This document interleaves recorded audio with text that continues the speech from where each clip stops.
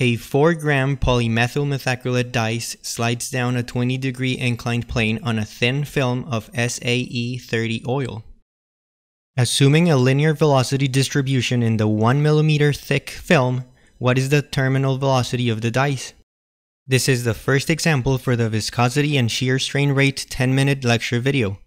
For the other examples, that main video, or other lectures from the Fluid Mechanics course and other courses, make sure to check out the links in this video's description. To find the terminal velocity of the dice, meaning the velocity of the dice when it's no longer accelerating or decelerating, we'll write the sum of forces in the inclined direction first.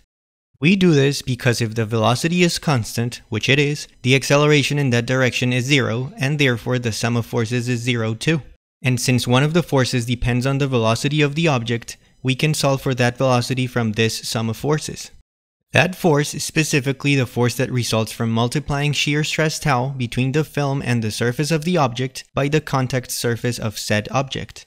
The free body diagram of the dice would have a weight going down, a normal force perpendicular to the surface, and a shear force from its interaction with the fluid parallel to the surface.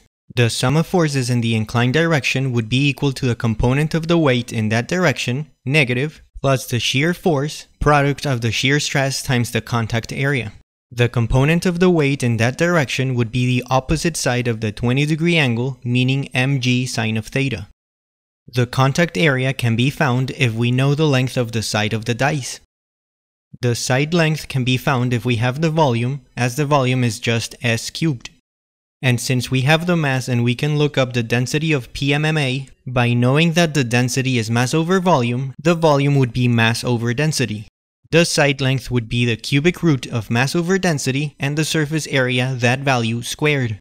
Finally, from the main lecture video, we know that the shear stress is equal to the viscosity of the fluid times the velocity over the film's thickness. We look up the viscosity of SAE30 at, let's say, room temperature. And with that, we have everything we need to solve for the velocity of the dice. We substitute all values, we convert all units to standard units, and find that the terminal velocity of the dice is equal to roughly 248 millimeters per second. For more problems on this topic, lectures on other topics of fluid mechanics, or other engineering courses, make sure to check out the links in the description below. Thanks for watching.